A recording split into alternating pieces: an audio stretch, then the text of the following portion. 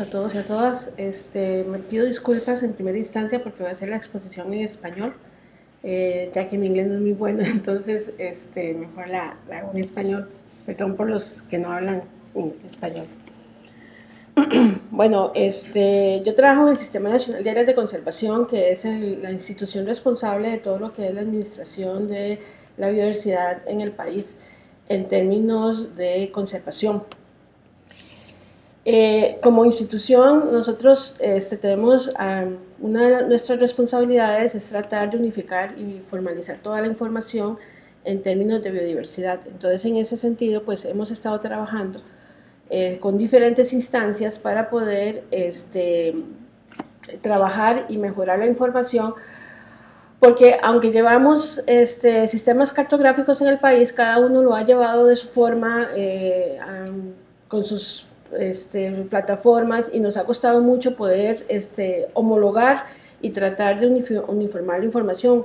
eh, respetando obviamente todo el trabajo que hace cada institución y este, eh, tratando de recuperar por lo menos la información básica necesaria. Eh, hace unos años se creó el Centro Nacional de Información Geoambiental, CENIGA,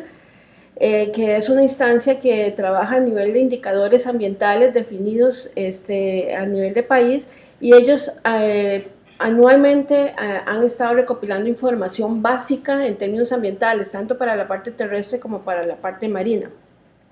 En los últimos años se ha tratado de incluir más la parte marina porque nos hemos, culturalmente nos hemos concentrado más siempre en la parte terrestre que, que en la parte marina. Eh, entonces, ellos tienen toda una, base de datos de información muy importante este, que puede este, generar bastante, que genera bastante información. Eh, bueno, en, el caso de nuestra institución, que tenemos todo lo que son los, es el SINAC, que es este, la que lleva todo el tema de, por ejemplo, de áreas silvestres protegidas, todo lo que son los mapas, tanto terrestres como marinos, eh, la parte de la cobertura vegetal, que en este caso para la zona costera es muy importante todo lo que son manglares y humedales costeros, ¿verdad? Ahí tenemos este, bases importantes de información.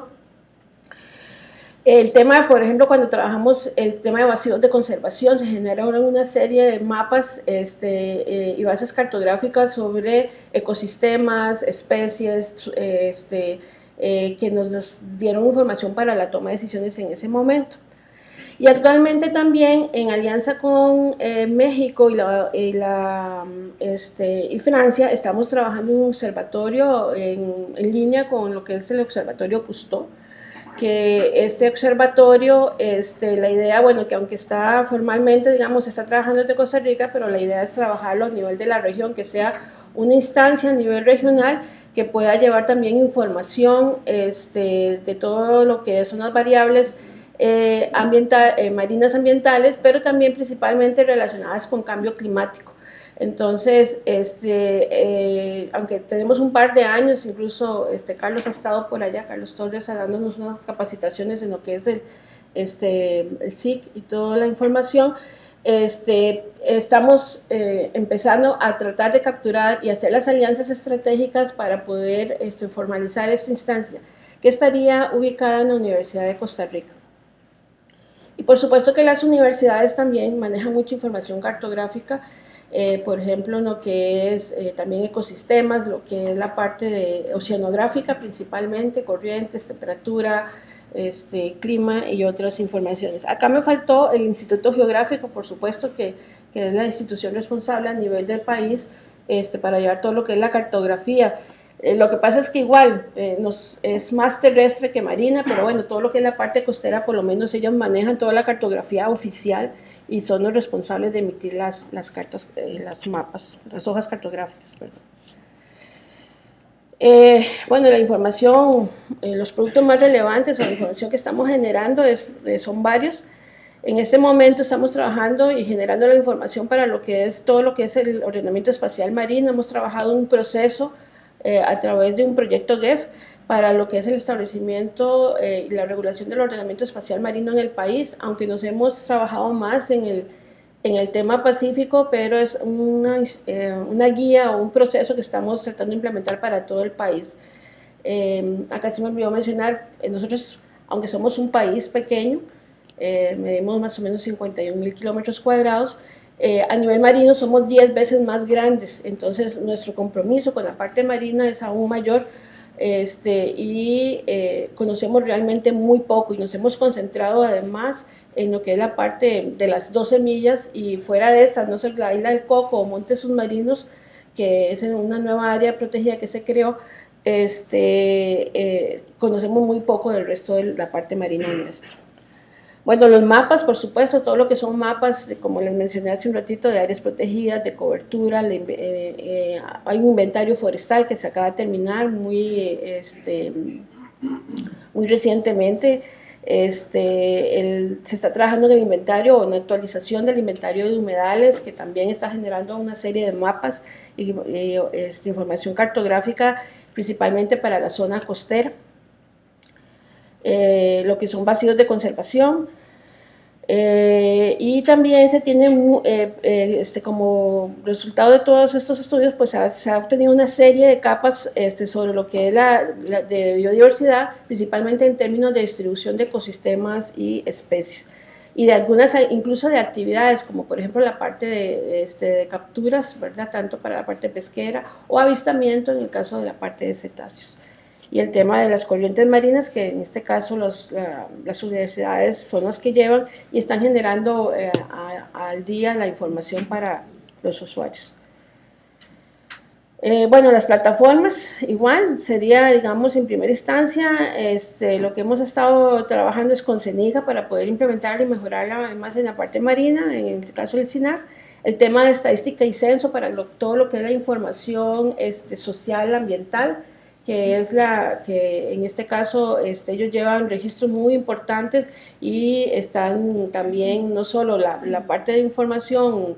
este, social, sino también registrada en mapas de la ubicación y de los procesos este, socioeconómicos que se desarrollan en el país y para la parte costera esto es muy importante. Y las universidades que son otras, las otras que llevan plataforma. Acá también, perdón, me faltó Incopesca, que es la institución responsable de la pesca en Costa Rica, que tiene todo lo que son la parte de capturas, que también lo tienen registrado y que este, podría estar también eh, disponible. Eh, por supuesto que los, los, los, usos y lo que, lo que podríamos estar dando son, bueno, las bases de datos, lo que es el monitoreo ecológico de las especies, ¿verdad?, que está en construcción, el tema de capturas y cobertura boscosa. Y este, yo creo que aquí entre las principales actividades que uno podría eh, asumir es el tema de cómo poder, normalizar, que eso nos ha costado mucho, ¿verdad? Porque la, gente eh, desde cada una de su óptica pues tiene sus bases y sus, este, y sus procesos y sus plataformas y las, las, las, las respetamos mucho, las queremos este, mantener y nos ha costado por eso un poco tratar, a pesar de que llevamos dos, tres años tratando de poder normalizar a nivel nacional, ¿verdad? Este, este tipo de procesos para poder construir una sola plataforma o que se alimente de las demás plataformas, pero que pueda dar respuesta por lo menos con la información básica necesaria para construir ese, ese atlas que queremos. El intercambio de experiencias, eso es algo, un elemento muy importante que debemos de tratar de, de, de activar como actividades colaborativas. El tema de las alianzas estratégicas, este, no solo con, a nivel interno, sino a nivel externo del país, este, como en términos de cooperación sur-sur, que nos permita este, establecer y, aprender de las lecciones de cada uno de los países y este, definir. Yo creo que aquí lo más importante sería definir cuáles son los criterios mínimos necesarios que deberíamos de tener en un atlas este, para poderlo desarrollar, porque si no este, eh, se va a complicar el tema de que cómo podemos eh, poner toda la información que genera cada una de nuestras instituciones a la, a la mano. Y creo que eso era todo. Gracias. ¿Hay questions, preguntas?